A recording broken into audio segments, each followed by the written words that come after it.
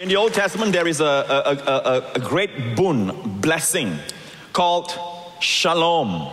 When you have shalom in your life, you prosper. Your bodies prosper, your finances prosper, your, your whole being prosper. That's the word shalom. It comes from the word pay, payment, shalem. So when you say peace to someone, don't forget it is paid for. And who paid for it is our Lord Jesus. At the cross, he said, Ani Meshalem. I'm, I'm paying for your peace. I'm paying for this lady's uh, uh, prosperity and blessing in her marriage. Amen. amen. It's all paid for. Can I have a good amen?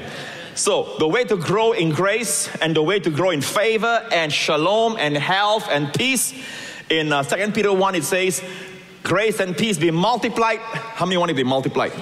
Even shalom, health be multiplied, grace be multiplied to you through the knowledge or in the knowledge of God and of Jesus our Lord. The only way to increase shalom and grace in our lives is not to do more, but to see more.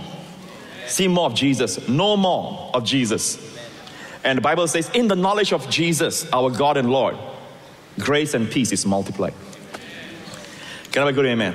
Now, the Bible calls us living stones. Look at this in 1 Peter 2 coming to Jesus as to a living stone. So, first and foremost, Jesus is a living stone. All right? Rejected indeed by men, but chosen by God and precious. In Israel, back in Jesus' time, they would say a stone that you see outside, a stone in the quarry, is not a living stone, it's just stone. When does it become living stone? When you take it out of the quarry, you shape it, you cut it, you chisel it, you put it into a, a, a, certain function of the building, and when it is on top of another stone and serving its function, now it is a living stone. That's how the temple of God is built up of living stones. So, coming to Jesus, He's the living stone. All right, rejected indeed by man. That's very sad. You know, that's true. The Bible says those who don't have eyes to, to see Jesus rejected him, but chosen by God and precious. Now, you also, all of us, as living stones, so because Jesus is the church, we are all small stones from him. The same life that's in him has been imparted to us. If you believe on Christ, you are a living stone built up, look at this, are being built up a spiritual house to contain God a holy priesthood to offer up spiritual sacrifices acceptable to God through Jesus Christ. I remember when I was in Israel, one of the things I wanted to do, which is not too far from my hotel, was there is a rock quarry, a stone quarry, where I heard that uh, in that stone quarry, you can still see the chisel marks of the builders carving, all right, chiseling uh, stones, usually it's rectangular shape, of different sizes from that rock quarry for the building of the temple in Jerusalem. I'm about to show you a real quick video of that time when we were inside there. Follow me. Look up here. All right? Can you see? This is where some places you have to really bend down. They cut from the walls of this. Can you see that? There's a stone here that's left. Can you see all the chisel marks? This is where all the stones were taken from. All right? They flattened the top. Can you see all the shapes? There, another place where the stone was taken out from, they, they carved it, they took it out. And some were left two thirds done. See, like this. They carved it into shape, but then they left it there. For some reason, they didn't like it, all right? And they left it there. But the rest, you saw the empty, empty uh, uh, uh, ridges, all those empty space, but the shape can still, that's you and I out of it. I want to share with you how God will bring you out and God will shape you God will cut away the unnecessary parts in your life. Now, God doesn't do it with sickness and disease, always remember that. But nonetheless, the process is painful. Sometimes God will use people to come and tell you things. How, how does God, you know, not just stones, but God, God, God says, I'm bringing you to a land, the land of Israel, where you will, you will dig copper from the mountains. You didn't have this in Egypt, but you have this in the land that I'm bringing you, God says. So that copper will, later on be melted, amen, in clay molds in the plains of Jordan and become a pillar in the temple of God called Yakin and Boaz, the entrance of the pillar of the temple of Solomon. And God says in the book of Revelation that the overcomer, he that overcomes, I'll make a pillar in the temple of my God. So some people become pillars, pillars of bronze. Some people are just stones, And it's all right because all of us are living stones, but there are some that God will make a pillar. And I think that there are some I'm speaking to today, God will make you a pillar. Not just a stone, but a pillar, a pillar. And the Bible says that in Galatians, Paul himself says that about Peter, James, and John, Paul himself says that they are pillars in the church. Are you listening, people? I want to talk to you about Peter.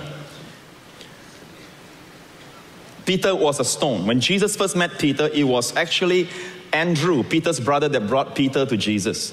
All right, he, he found his own brother Simon and said, We have found the Messiah, which is the Christ. Drop down. He brought him to Jesus. When Jesus looked at Simon, he said, You are Simon, the son of Jonah. You shall be called Cephas, which is translated a stone. Can you see it? Now, here is where we would call his conversion took place. It's possible to be converted and not be consecrated. In other words, you're just saved. You go to church on Sunday, but it doesn't really thrill you, your purpose, where you're supposed to be in the house of God, where you're supposed to function in, you don't care. So Peter was like that. He was a fisherman. He says, Okay, good, he's the Messiah, I'm going fishing. So the Bible tells us that Jesus still had to cultivate him. Jesus brought him out of the darkness by the revelation of who he is, the Messiah. And now Jesus has more work to do on him. And he was he was one day by the lake of Galilee and he was washing his nets. And the Bible says the multitude pressed upon Jesus. Jesus looked behind him. There were two boats there, the Bible says. Remember, say two. He could have gone in either one of them. But the Bible says Jesus stepped into the one that belonged to Simon. And Jesus says to Simon, launch out into the deep. Let's go to the deep. And, and by the way, they worked all night already and they caught nothing.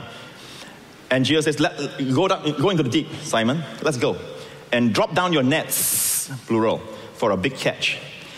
And Peter was watching. Peter looked, Master, we worked all night. We caught nothing. He needed a greater revelation of Jesus. You know? And he went with Jesus because he said this Nevertheless, at your word, I will let down the net, singular. So you can say he obeyed. Yeah, he obeyed, but not completely full. Jesus says, let down the nets, plural, a lot of nets. He says, all right, we'll go and we'll let down the net. And the Bible says they enclosed so much fish that they cannot take the fish into the boat. They had to call for help from their partners. And the Bible says when they came, the partners came to carry that, you know, that heavy swollen net into the boat, the boat began to sink. And the Bible says at this point, Simon fell at Jesus' feet, at his knees. The Bible tells you where, and grabbed his knees and said, Depart from me, I'm a sinful man. And I don't know why Hollywood wants to change God's word, you know, but he says, Depart from me. Something happened to him. Church, it is the goodness of God that leads men to repentance. You see, he didn't repent first, and then Jesus gave him the, the catch of fish. Jesus blessed him first and that drove him to repentance. And finally, they were at the foot of the mount, and Jesus asked his disciples, Who do men say that I am? And some of them say Jeremiah, some say John the Baptist. Then Jesus looked at all the disciples and said, Who do you say I am? Peter answered, Look at this. Peter says, You are the Christ, the Son of the living God. Jesus answered and said, Blessed are you, Simon Barjona, for flesh and blood did not reveal this to you, but my Father who is in heaven. You know, what it means? That means what? Ain't no way you got this from yourself. And then the Bible said, drop down. From that time, Jesus began to show. By the way, this is the first time Jesus started talking about his sufferings and death. To his disciples, that he must go to Jerusalem, suffer many things from the elders and chief priests and scribes, and be killed and be raised the third day. So he's talking about his sufferings and his death. Next verse. Then Peter took Jesus aside and began to rebuke him. Jesus turned and said to Peter, Get behind me, Satan. you are an offense to me, for you're not mindful of the things of God, but the things of men. All in the same breath. He just received praise. Blessed are you, Simon Barjona. Then he started feeling.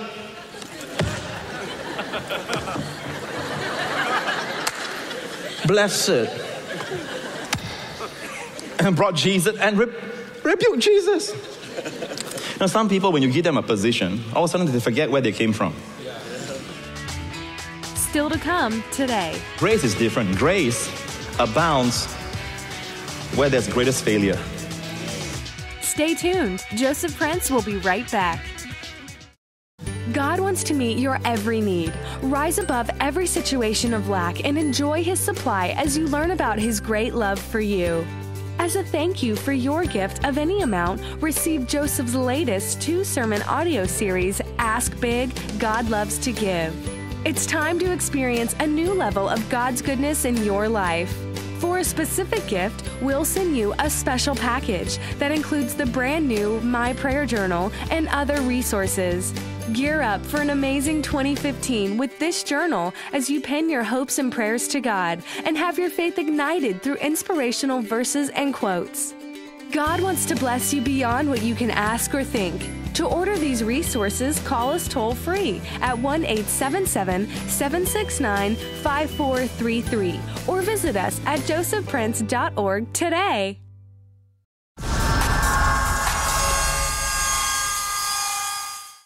But let's go right now to the Last Supper. And Jesus said this in Luke 22. The Lord said, Simon, Simon, Satan, indeed Satan has asked for you. Can you imagine if, if the Lord tells you Satan has asked for you? There's something about Peter, uh, Simon Peter, that has a red carpet for the devil. Maybe his quickness to say things. And Jesus is telling Peter, all right, Satan has asked for you that he may sift you as wheat. You know, they have a sieve where they, the, they, they sift the, the raw wheat into fine flour. That's what Satan wants to do. But I've prayed for you. Listen, long before the devil comes with his temptations and his attacks, Jesus has prayed for you. Jesus has prayed for your children. Are you listening, people? That's what he's doing at the Father's right hand. I have prayed for you that your faith will not fail. He didn't say that you will not fail because we know that Peter failed, but your faith will not fail. Some things you will go through the sifting because there's something in you that needs to be sifted.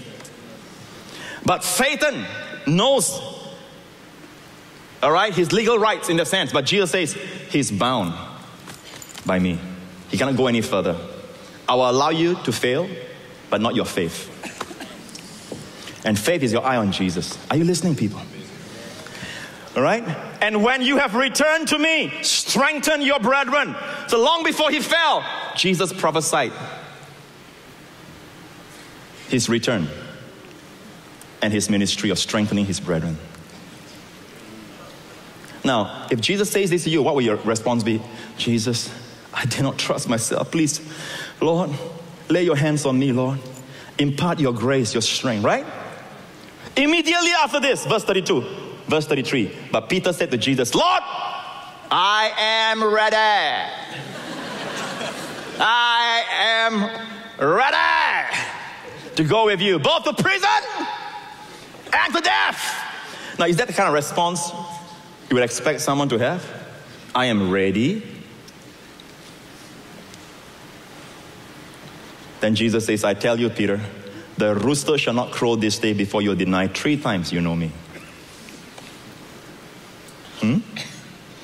This took place in the upper room. All right, drop down.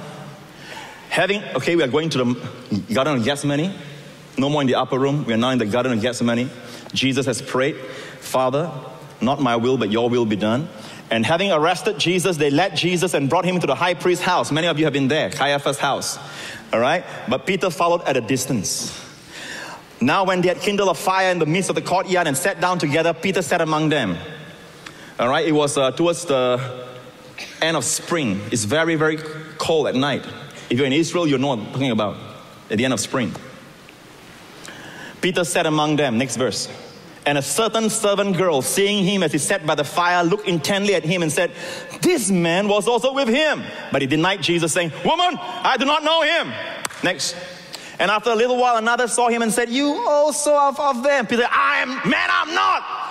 Then after about an hour had passed, another confidently affirmed, saying, Surely this fellow also was with him. He's a Galilean. You can tell by the accent. The next verse. But Peter said, Man, I do not know what you're saying.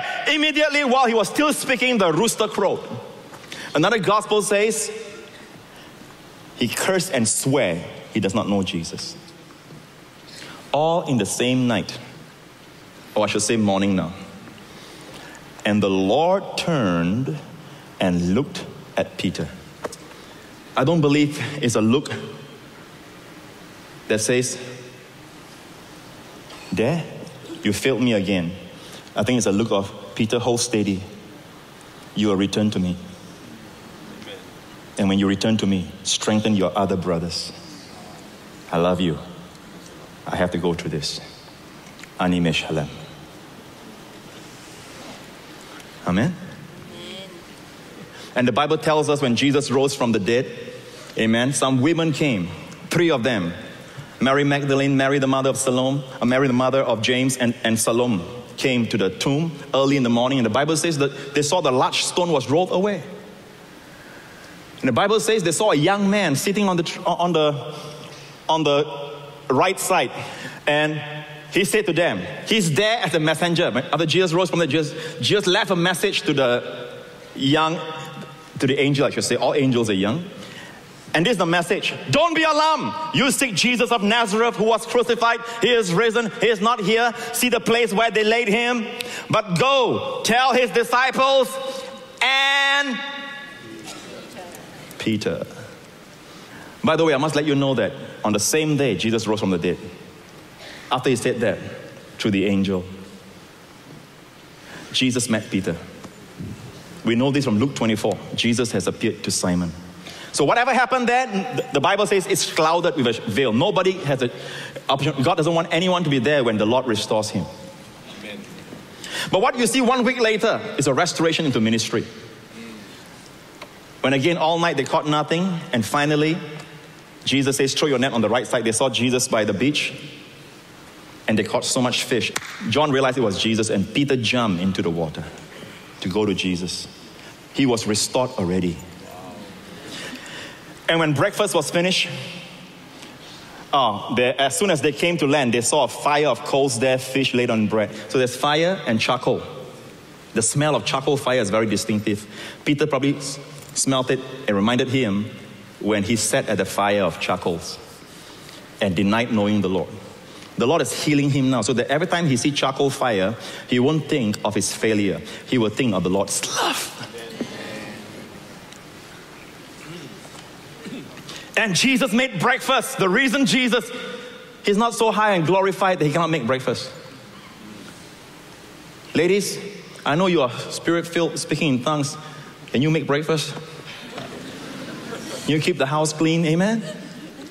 The reason Jesus made breakfast for his disciples. Bring some of the fish you have caught. Simon Peter went up and dragged the net to land full of large fish, 153. The net wasn't, was not broken. I think the Holy Spirit purposely want to say that now. Next verse. Come and eat breakfast, Jesus said. No one asked, Who are you? Jesus came, took the bread, gave it to them, and likewise the fish. He's still serving. He's still serving. This is now the third time Jesus showed himself to his disciples after he was raised. Next verse. We'll close with this. So when they had eaten breakfast, Jesus said to Simon Peter, Simon, son of Jonah, do you love me more than this? Yes, Lord, you know that I love you. Feed my lambs. When they had eaten breakfast, I'll tell you something. Before the Lord tells you to do something, whether it's feed his lambs or whatever, he'll make sure you have eaten first. I'm talking spiritually. Do you understand it? He never places a demand until you are filled. When they had eaten breakfast, then he said, Simon, because Simon boasted just a few nights before, even if everyone forsake you, I'll never forsake you. One gospel says that even if all this, all these disciples put together forsake you, I'll never forsake you. Now Jesus saying, Do you love me more than all this? And the word Jesus uses agapao, which is actually the highest form of love, self-sacrificial love. Peter answered. Peter learned his lesson. Peter says, No, Lord, I, I he didn't use agapao, I like you. Phileo. In your English, you can't see it. Peter said, I, I, I, I'm just fond of you. No more that boastful. Based on that, Jesus says to Peter, Peter, feed my lambs. Still trusted him. Then Jesus asked again, second time, Peter, do you love me? Do you agapao me, the highest form of love? Peter says, Lord, you know, I phileo you. I'm fond of you. I like you, but not to the extent of giving my life. At that level, Jesus says, Shepherd my sheep. And the third time, Jesus asked, Peter, do you love me? Again. By the way, the third time, Jesus changed. Jesus came to Peter's level and says, Peter, do you phileo me? Peter says, Lord, you know everything. You know that my love for you is, I've learned my lesson. It's only at the point of phileo. And Jesus says, Feed my sheep. What is the greatest thing to his heart before he leaves to go to the Father? His sheep. And who did he entrust his sheep to? To a man who fell, denying, with cursing and swearing that he knew he did not know Jesus. Wow. Where sin increased, grace superabounds. If I was there, I'll appoint somebody who never deny me. Someone who's faithful all the way. John, James, even Bato. But, not Bart Simpson, Bartholomew. I appoint Bartholomew. How do you hear about Bartholomew? Not even a mew. But grace is different. Grace abounds where there's greatest failure. So that he's, and one, one day, Peter would rise up on the day of Pentecost. Of all the disciples, it was Peter who preached a sermon, of not afraid of the Jews anymore. These are the people, some of them, they were there when he denied knowing Jesus. He preached to them and said, You killed the Messiah, the Prince of Life, whom God has raised from the dead. And they were cut to their heart, the Bible says, and 3,000 people were saved at Peter's preaching. He became a pillar. And that's how he's gonna love you. And that's how he's loving you today. Sometimes there's correction. Sometimes it comes through the mouth of someone, even your spouse or your friend sometimes even for your enemies. Allow yourself to be cultivated. And if you should fall, if you should fall, it is not the end. He's there to pick you up. And he will say, When you have returned to me, strengthen your brethren. Church, this is your Savior. This is our Lord. How beautiful He is. Give Him praise. Hallelujah. Thank you, Jesus. Amen. Thank you for tuning in to our broadcast. You have watched highlights of a sermon by Joseph Prince.